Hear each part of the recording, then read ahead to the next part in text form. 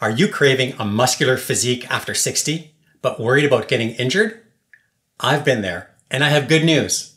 In this episode, I'll share my top 10 proven tips for injury free weight training after 60. Get ready to train and gain without the pain.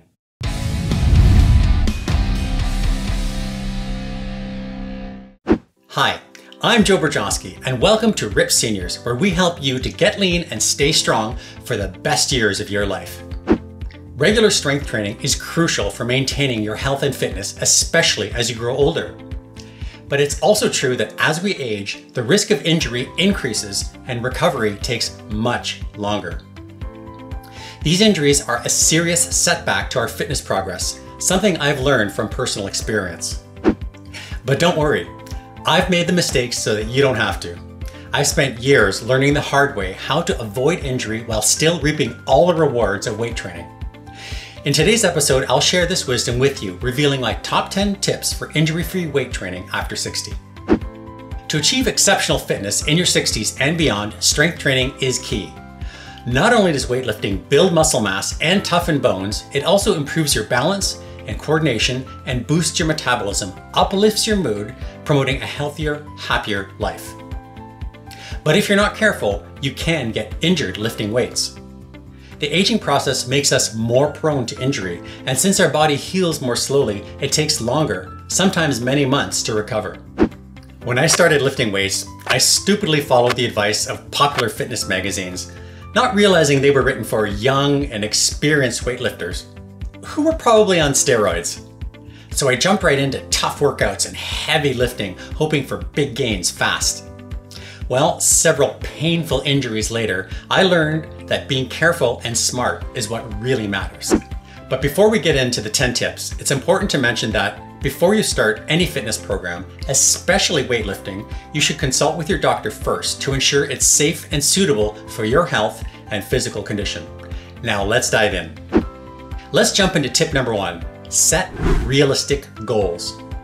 Your strength journey is a marathon, not a quick sprint. When I rushed for quick gains for my skinny arms, I wound up sidelined for months recovering from tendonitis. So respect your body and its limitations. You will make gains, but plan to celebrate your progress over months and years, not weeks and days. After all, you're in this for life and aiming for sustainable strength. Stay patient stay persistent, and stay injury free. Next up is tip number two learn proper form. When lifting weights, proper form is your safeguard against injury. It ensures your muscles, joints, and ligaments move in harmony, reducing strain and preventing unnecessary damage. I highly recommend that you hire an experienced trainer to customize your program and teach you the correct technique. It's money well spent at the start of your fitness journey. Moving on to the third essential tip, number three, always warm up. A proper warm up gets adequate blood supply to your muscles and tendons, warming them up and preparing them to lift safely. Failing to warm up before arm exercises was a major cause of my elbow tendonitis.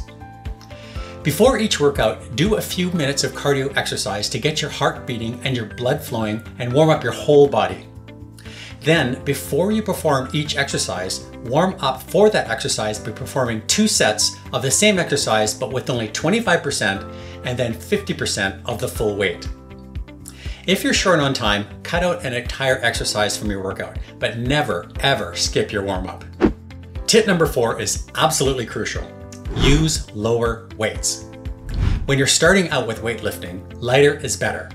It's tempting to lift heavy, but starting with low weights allows your body to adapt and learn the movements without too much strain.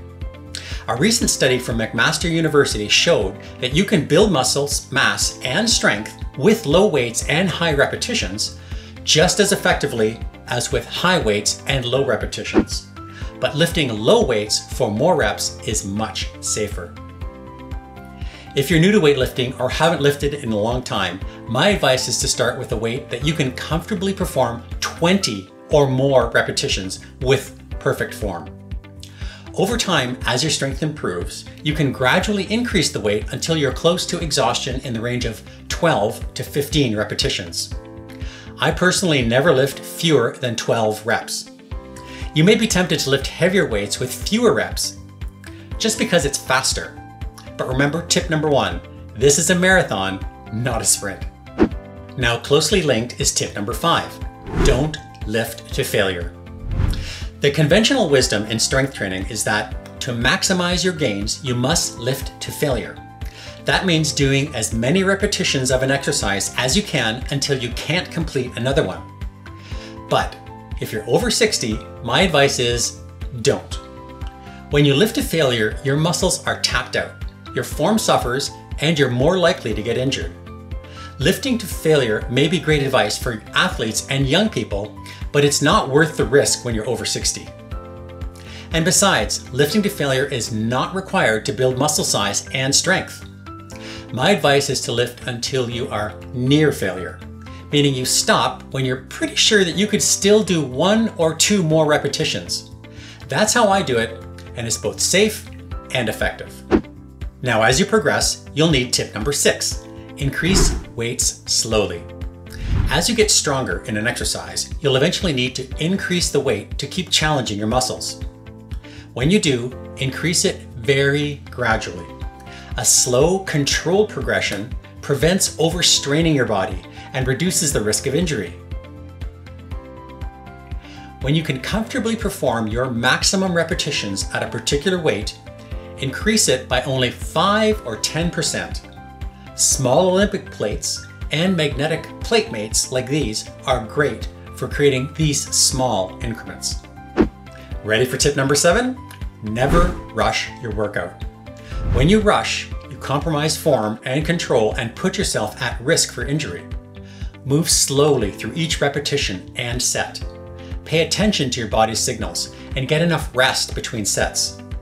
Avoid sharp movements when picking up or moving weights. As you get stronger, you'll be handling heavier weights and you'll need to be more careful when you're moving them. This slow, deliberate pace of movement not only keeps you safe, but helps your muscles to work more effectively, improving your results. And that brings us to tip number eight, avoid risky exercises. As you age, your flexibility and range of motion decrease. You can still lift weights effectively, but you need to choose your exercises wisely. You should avoid exercises that require advanced mobility and pose a risk of injury if not done with perfect form. For example, because of my poor ankle and hip mobility, I strained my lower back a couple of times attempting to do heavy barbell squats. But don't worry, in future episodes I'll share plenty of safe, age-friendly alternatives that are equally effective without requiring that youthful agility. We are nearing the finish line with tip number nine, stretch every day. Don't underestimate the power of a good stretch. Regular stretching keeps your muscles flexible and improves the range of motion in your joints. Tight, inflexible muscles can lead to decreased mobility and a higher risk of injury. And stretching feels great. It releases muscle tension and reduces pain. In my experience, I am more prone to injury when I stop stretching. So make sure you incorporate stretching into your daily routine.